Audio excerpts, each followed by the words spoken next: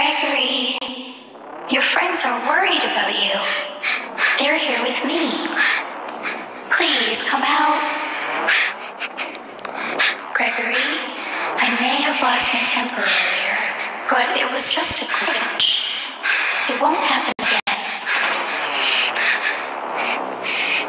It's been such a difficult day for all of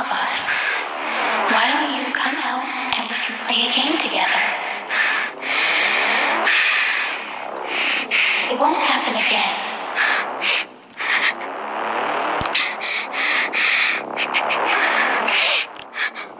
It was. Gregory, be still. I think she's found us.